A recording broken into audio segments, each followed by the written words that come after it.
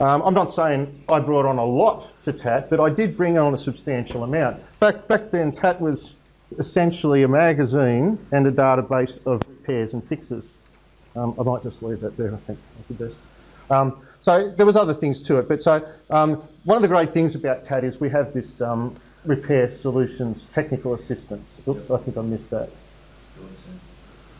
So technical assistance is is is um, we usually we usually submit about 20 a week on average. We're roughly 20 new submissions every week. So you know you might have a, a difficult vehicle in, in, your workshop today, and you, you, you submit fill out the form, what sort of vehicle it is, what the complaint is, what repairs you've tried, where you're at so far in the process okay, of, of the diagnostic job, and um, then it goes out to our. We've got 10 guys that are all workshop owners, and they um, are there. They get the message straight away that Joe Blow's just submitted a a, a, technical assistance request, we log into it and we read what the problem is and we give our advice. We help them through the okay. through the diagnostic process.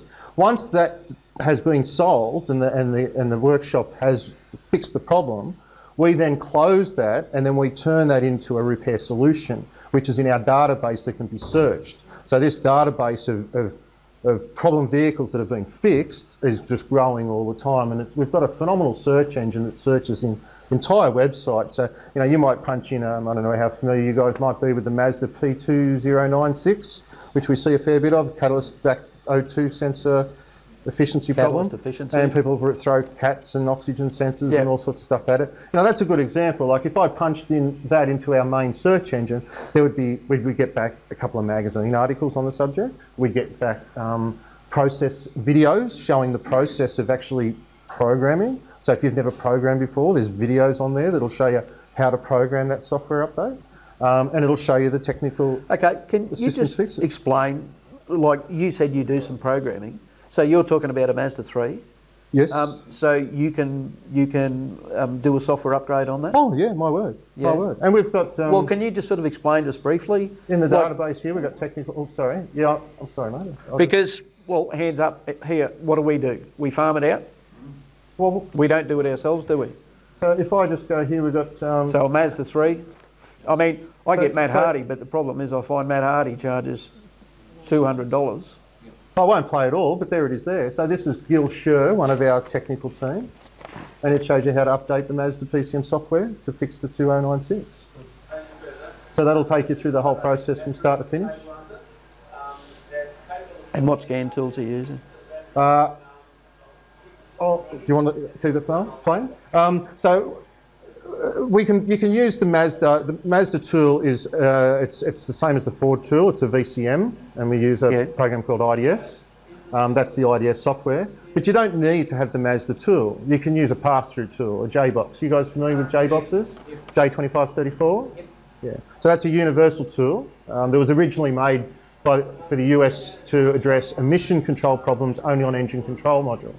But as time has evolved, as time's gone, it's evolved, and now they have different revisions of that J2534. So now you can not only pro program engine control modules, but you can do body and chassis control modules as well.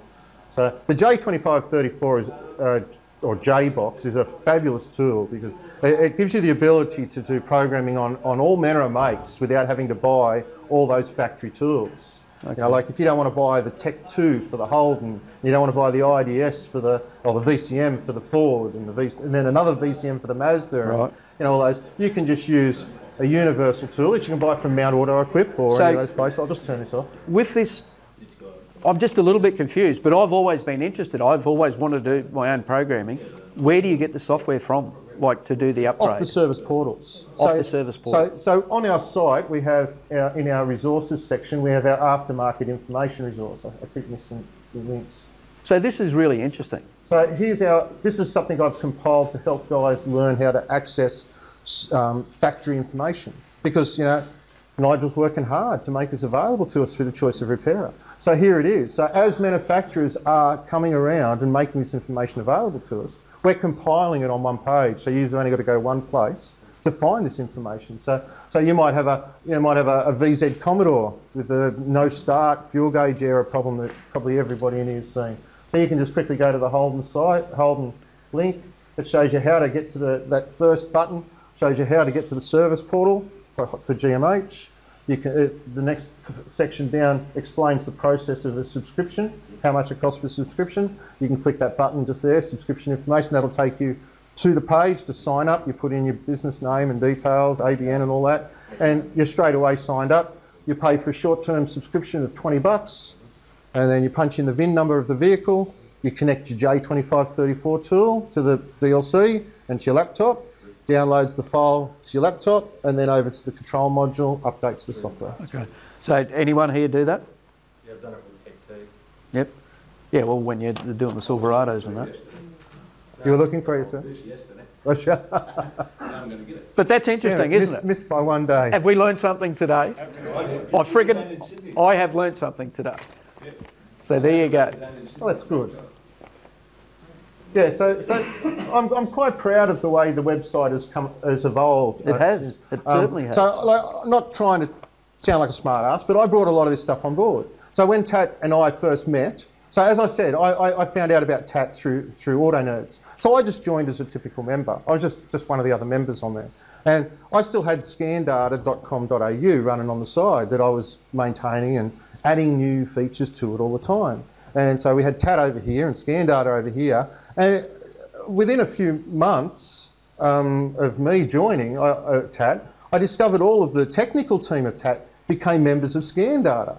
right? So they saw value in it, which is great. I was Yeah. quite proud of that. Um, And I, th- I still, to this day, think having a database of known good scan data is a, is a wonderful tool. Um, so uh, it, was, it, seemed, it seemed funny that we had these two great resources, but they were apart, Apart. from one another.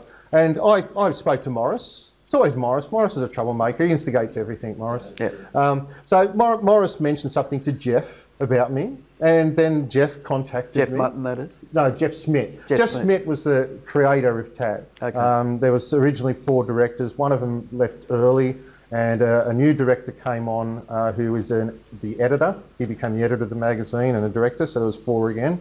And just as I came on as a new director, when I came on with this, uh, the editor retired. Uh, Ken Newton, his name was. He was getting on. He was time for him to start thinking about fishing and relaxing and stuff like that. So I took Ken's place as a director. Okay. And the, the role of editor became Jeff Smith's.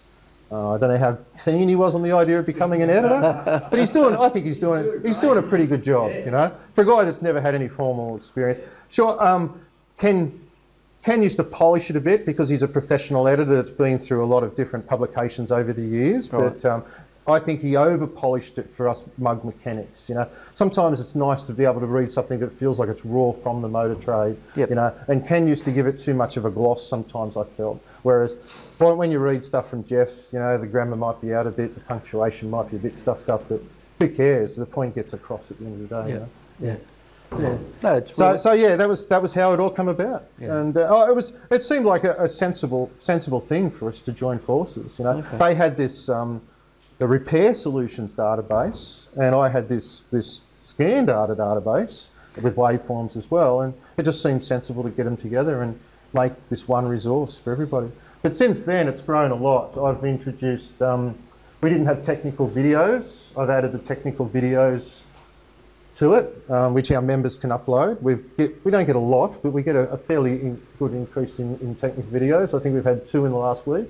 so uh, is this interactive? So when you, uh, any member can Any- upload a video? That's right, yeah. Yeah. This video here, for example, you, you could just quickly, it's quite easy. I'll just show you as a member. You can just go to that page and share your videos. Okay. And you just enter a description, select the video, click upload, bang, it's up there. Right. Now we always, so it's not a porno or something like that. We always, we always want to check it first. Once we've checked it, we will then set it live. Yep. But, um, yeah, I don't think any of our members would do anything like that to us. But, um, if it's any, we, we do have size restrictions on the restrictions on the website, so we've actually limited it to 250 meg. If anybody has one larger than that, we have the ability for them to upload it to uh, YouTube channel, which can be any size, and then we just link from the YouTube channel. So I suppose, as we know, Google, it's full of um, uh, information, good or bad. What does um, TAT do to ensure that the information that they're receiving is, is accurate? How do you... So, so as I said earlier, we have our um, So we have our repair solutions. So that's somebody with a, a troublesome vehicle, and then that's repaired. So that's all in house. So there's no way that can be corrupted. That data's, you know, that's it was the, the, the members and the technical team. They were the only two people involved. So as far as far as our database of, of known good repair solutions, that's not a problem. But we do have a TAT share section where you can share your solutions. So that means you may not have gone and got technical assistance from this, but you might have just had a really great job in your workshop that you were really proud of. You know, that was a curly one, and you want to share with the world. You can you can add your oh that's not a touch screen. You can add your information there. You can select what type of vehicle it was, add files, add videos, all that sort of stuff, and that gets uploaded to our our um, team. They verify that everything's right, publish it, set it up, and that also goes into our database of repairs. Okay. So that's one form. The other form is obviously the scan data and scope data that can be uploaded. Now that can get corrupted, you know, if people aren't making sure that the vehicle is correct. We, we have, like I said before, we have certain requirements for the data that's uploaded. We, we don't want to see fault codes. We don't want to see fuel trims out of whack. We don't want to see drivability Yeah, right. problems. Okay. Um, but some guys might not know that. We even like to see them, unless they stipulate that they want to add cold engine data. If they're add, adding engine data, we typically like them to add data off an engine that's reached operating temperature. But you know, there's times when you might want to see an engine warming up and going through its warm-up cycle. But so, so as far as corruption goes, there's really that's about the only source of Yep. data coming into our website that could be out of whack. So, but we have we have a few things in place. We have feedback forms, and we also on that scan data section. When you oh, we've still got it open over here, haven't we? Um, oh, no, we haven't. So if I open up a, we'll go forward. If you have a look down the side over there, it looks a little Little red tick. you Yep. see, see all the orange and so I'm, I'm, I'm an admin. So normally you wouldn't see the little red box. See the little red boxes? That's that's only because I'm an admin and you can see that. But see how you got the little blue bell there? Yep. If you- if you had a a vehicle that you thought was on there that you thought had bad data, you can actually click that blue box and report it. It'll fill out. I think I can click it and show you. So there it is there, report a problem with the following submission. So it's already put all the information of the vehicle. All you've got to do is write, that data's wrong, or something like that, and that's it. That'll come to me, I'll check it, confirm it, and if it is wrong, I'll then make a, did that go back? No. So see the little orange exclamation mark? That's been reported as having a problem. So if I click on that exclamation mark, I'm not real good, no. So there we are there. So the engine was not at operating temperature when the scan data was recorded. So we try to do that sort of stuff just to keep people up to date with what's going on with the data.